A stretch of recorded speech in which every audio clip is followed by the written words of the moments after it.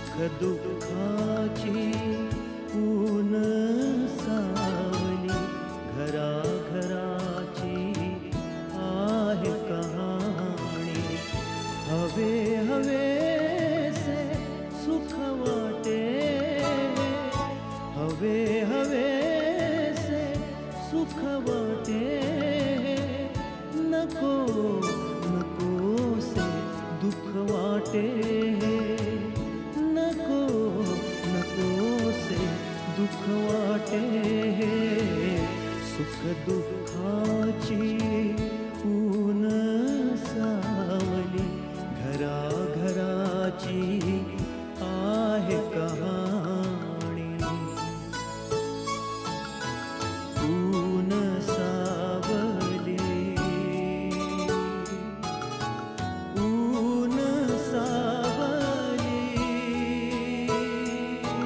शेखर कसे आहेत? बरे आता देवाच्या कृपेने. फार लागलं नव्हतं ना त्यांना? अगं मुलाला त्रास झाला ना तर वेदना मात्र आईला होता. खरं आहे तुमचं आई. त्या दिवशी दिवाकरनी संप मिटल्याचा निरोप आणला आणि डोक्यावरचं ओझं उतरलं बघ माझं. हा जो काय प्लान तुम्ही आखलाय हा एक प्रकारचा अप्रामाणिकपणाच नाही का? तिला कोण सांगणार? मी?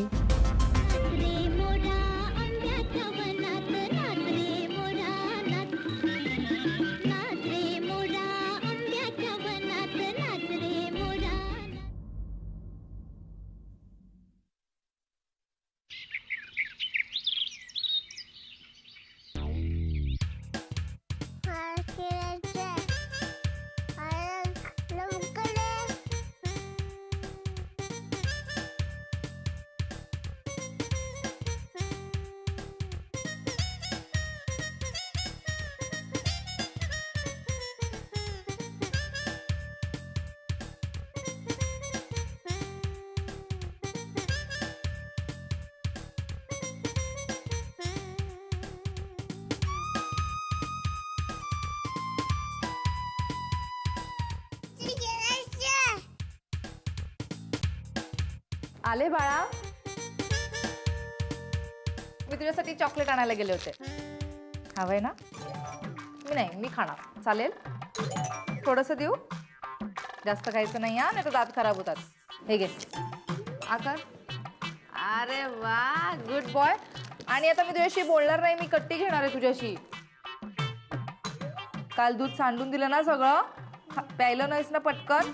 हा असं करतात? तू गुड बॉय आहेस ना? इकडे ये बरं. इकडे. मस्ती करायची नाही अजिबात. गुड बॉय आहेस ना तू. हं? अजून काय काय पाहिजे खाऊ माझ्या पिल्लूला? काय काय आणू तुझ्यासाठी? एवढी खेळणी आणले तर अजून आणायचे तुला? अजून काय काय हवंय सांग बरं. हे हे हे म्हणजे काय? काय काय काय? सायकल? अरे वा. एरोप्लेन पाहिजे? हा? असं आणू? आवडेल तुला? अजून काय काय पाहिजे? डॉल पाहिजे डॉल आहे. अरे बापरे तुझ्याकडे कुठे ठेवली? बॅगेमध्ये ठेवली का? अग म्हणजे गुड बॉय ते अजून काय काय पाहिजे? अशी कार पाहिजे छोटी? छोटी आणू? अजून काय आणू बरं? काय काय पाहिजे? आ बंदूक? हो दाखव बरं तू कशी वाजवतो दाखव बरं. कशी चालवतो दाखव. आ? हळू हळू हळू पडशील. आ आणि कशी करायची? आ तिथे उभं राहा बरं दाखव मला. थांबा बाळा. हॅलो नेहा बोलते हा बेटा. आई कशात तुम्ही? मी मजेत आहे. तू कशी आहेस? मी मी कशी असणार? खरंय मी तुला हा प्रश्न विचारायलाच नको होता. पण काय करणार? सवय झाली आहे ना. नकळत तोंडातून शब्द बाहेर पडतात. नाही आई येऊ असं काही मनात आणू नका. मी ठीक आहे. मी आणि मोहक खेळत होतो. अहो खूप हट्टीपणा करतो तुमचा नातू. होणारच लबाड. त्याच्या मतानुसार जर काही झालं नाही ना तर खूप चिडचिड करतो. खूप मस्तीखोर आहे. आता कालचीच गोष्ट घ्या ना. त्याला दूध प्यायला देत होते. पेल्यामध्ये थोडंसं दूध कमी होतं. तर पेलाच फेकून दिला. परत त्याच्यामध्ये साय सुद्धा नको. काय काय सांगू त्याच्याबद्दल? अगदी सारंग सारखा आहे जिद्दी. सारंग लहानपणी. दूध हवं काठोकाठ भरलेलं साय नको. अगदी सारंग सारखं सारंग प्लीज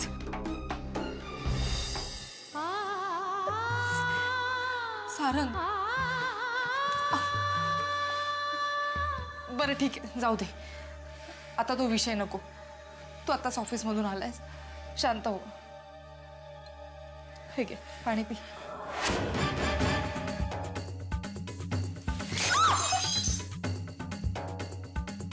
सारंग! नेहा का ग अशी गप्प झालीस? नाही काही नाही.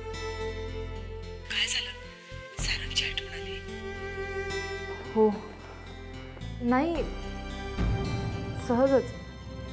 मोहकचा विचार करत होते. बेटा मी तुला कितींदा सांगितलं. मोहकला घेऊन तू इकडे ये. आपण सगळे एकत्र आनंदाने राहू. नाहीतर मीच येते तुला न्यायला. चल. नाही नको आई. माझा विश्वास आहे. सारंग नक्की परत येईल. मी त्याची इथेच वाट बघेन.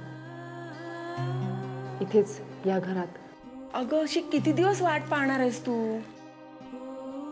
जोपर्यंत तो परत येत नाही तोपर्यंत. सारंगवर मी प्रेम केलंय.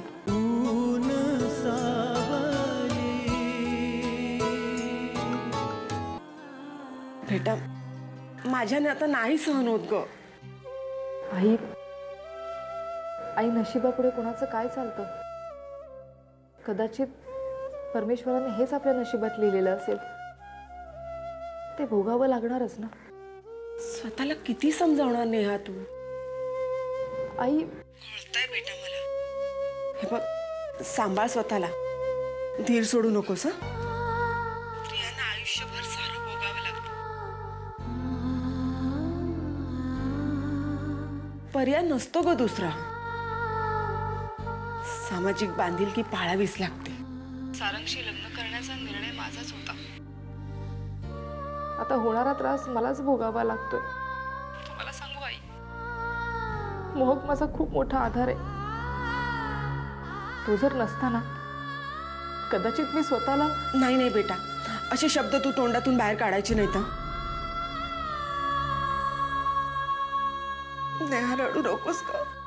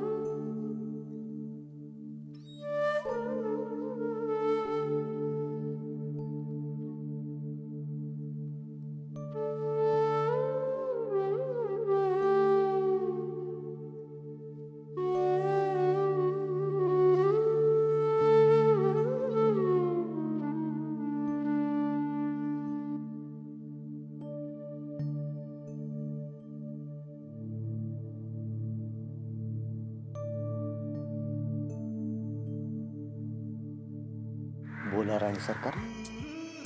काय आज्ञा आहे गुलामासाठी? का बोलवलं खर काय हे नाही त्या वेळेला? म्हणजे? न- नाही त्या वेळेला म्हणजे?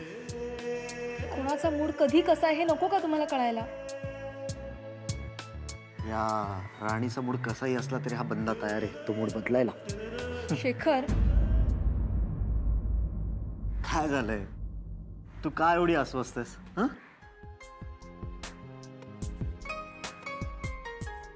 मला तुम्हाला काहीतरी सांगायचं आहे मग सांग ना काय झालंय? पण तुम्हाला राग येईल. आजपर्यंत कमी चिडलो तुझ्यावरती? हं? पण मी हे सांगितल्यावर तुम्हाला राग येईल त्या गोष्टीचा. मग नको सांगू. पण ते सांगणं हे खूप गरजेचं आहे अगं मग बिंदास सांग. हे बघ कुठली शंका मनात न बाळगता बिंदास सांग. बोल काय झालंय? माझी हिंमत नाही होते माझ्यावरती विश्वास आहे?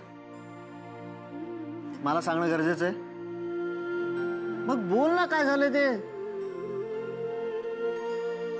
शेखर. शेखर ते ते काय? आज सुलभा मावशी आल्या होती मग काय म्हणाले? त्यांना आपला प्रॉब्लेम कळलाय. आपला प्रॉब्लेम मूल न होण्याचा. पण त्यांना कसं कळलं? असल्या गोष्टी लवकर पसरतात. हे बघ तू असल्या गोष्टींचा विचार करत जाऊ नकोस. मी कितीही विसरण्याचा प्रयत्न केला ना तरी लोक मला नाही विसरून देत ते. बरं काय म्हणाल्या सुलभा मावशी?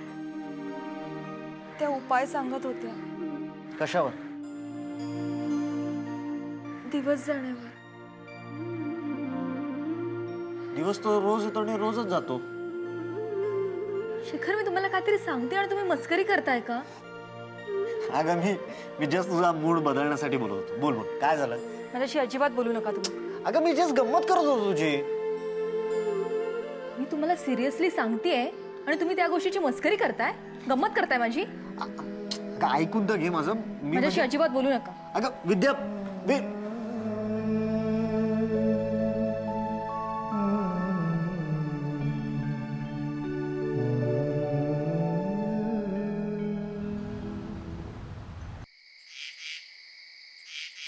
चला पिल्लू खेळणं खूप झालं. आता जोजो करायची ना आपण? गाई गाई करायची. हम्म? झोप ये. व्हेरी गुड बॉय काय झालं बाळा? मी असं करतो. काय करतो? काय ऐकायचंय तुला? मला शिवाय ऐकायचं काय काय ऐकायचंय? मस्त. गोष्ट ऐकायची तुला? काय रे बाळा? सकाळ संध्याकाळ गोष्ट ऐकायची. आईकडच्या गोष्टी संपल्या आज. आज झोप पटकन. हा.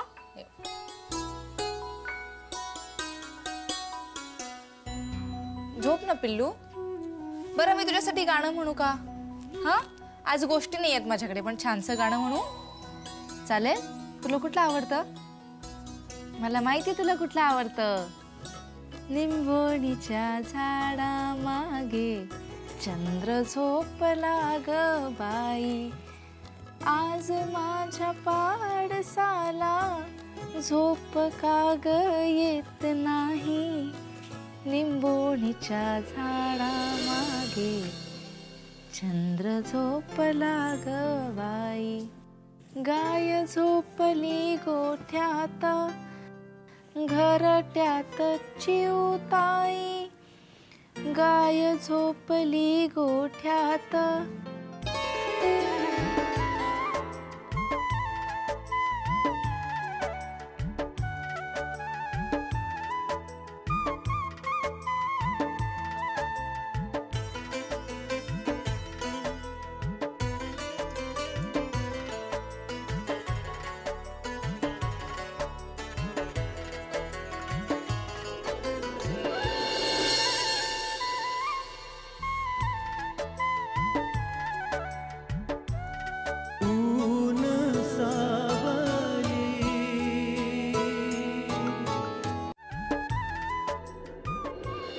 खूप हट्टी होत चाललाय. अगदी बाबासारखा. सगळ्या सवयी सारंगच्याच आहेत. सारंग कुठे आहेस रे तू? का सोडून गेला आम्हा दोघांना? तुला आठवण नाही का रे येत आमची? माझी नाही पण निदान मोहकची तरी.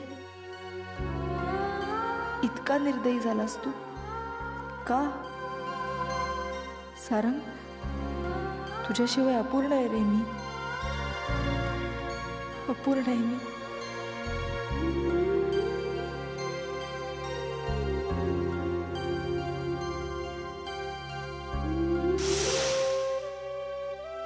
काय ग कशाला बोललोस तू मला? हं? दादा. हं. दादा मी सारंगशी लग्न करण्याचा निर्णय घेतलाय. काय? हो. वेळ लागला की काय तुला? आमचं प्रेम आहे एकमेकांवर. हे बघ लग्न म्हणजे बाहुला बाहुलीचा खेळ वाटतो का तुला हा? अगं पोरखेळ नाहीये तो. क्षणाचा विलंब न लावता तू निर्णय घेऊन मोकळी झालीस ती. दादा सारंग खूप चांगला मुलगा आहे. हे बघ. लग्न कार्य करताना संबंध जोडताना समाजाच्या चौकटीत राहावं लागतं. समाजाची मर्यादा पाळावी लागते. दादा लग्न मला करायचंय संसार मला करायचाय. माझा जोडीदार माझ्या आवडीचा नको का? अच्छा. म्हणजे चार वर्ग तू शिकली काय? तू हुशार झालीस? हा? असं बोलले का मी? नाही बोलायला नको. तुला काय बोलायचं ते कळतंय मला. दादा अरे आतापर्यंत एवढे हट्ट पुरवलेस तू. मग आज का तू मला मला मला तुझी काळजी वाटते. मला तुला दुखवायचं नाहीये. समजून घे मला. हे बघ माझं ऐक. काय? सांगलीहून उद्या एक मुलगा येतो तुला बघायला. इंजिनियर आहे तो. विचार कर. नाही. मी लग्न करेन तर सारंगशीच. अच्छा. म्हणजे हा निर्णय तुझा अंतिम आहे का? हा? अगं बोल ना गप्प का बसलीस बोल!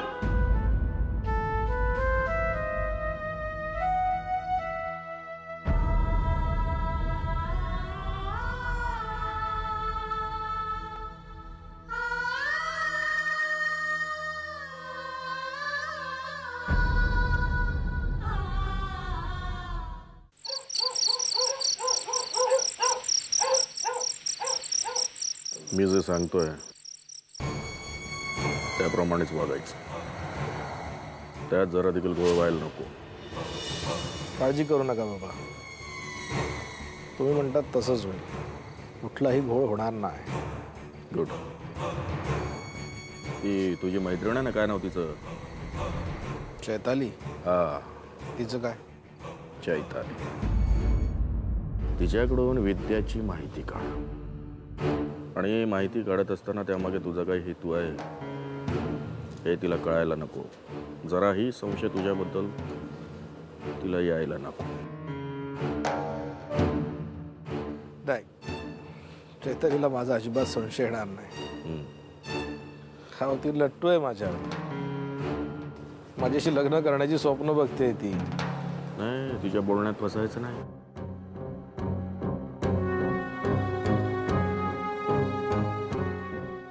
तुमचा मुलगा आहे बाबा. असणाऱ्यांपैकी नाही.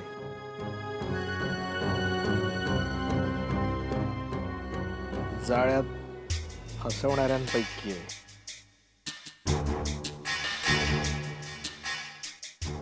जाळं विणणं इतकं सोपं नसतं.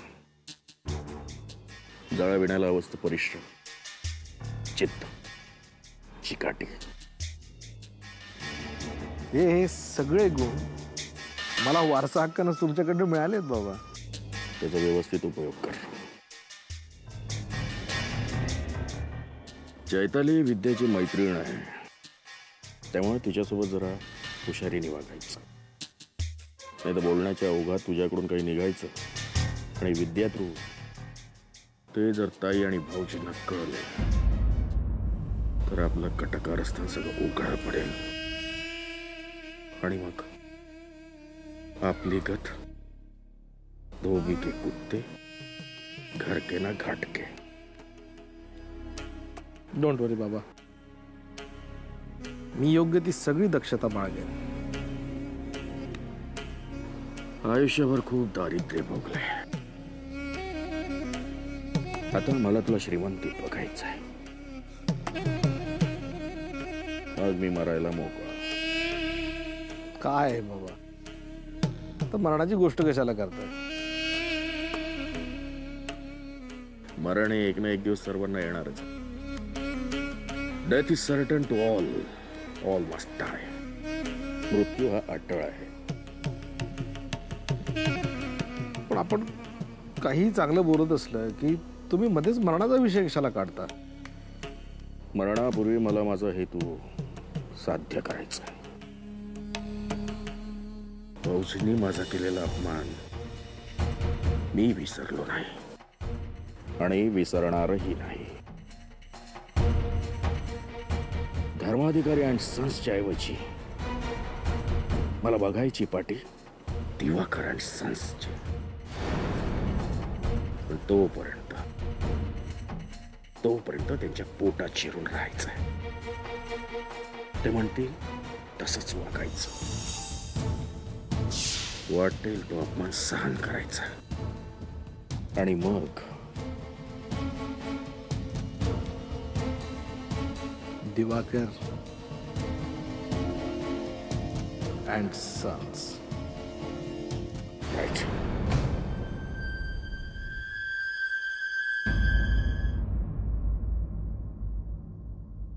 Chaitali मला तुला एक विचारायचं होतं म्हणून खास तुला फोन केलेला. काय? विक्रम गावंडे नावाच्या माणसाला ओळखतेस का ग? कुटुंब विभक्त करून स्वावलंबी जगण्याचा जो विचार तुझ्या मनात आला ना तोच मुळात मूर्खपणाचा होता. घरच्यांच्या मर्जीने जर लग्न केलं असतं तर हा प्रसंग आला नसता तुझ्यावर. हे बघ तू ताबडतोब घरी ये. काय झालं का असं अचानक? सांगते तेवढं कर.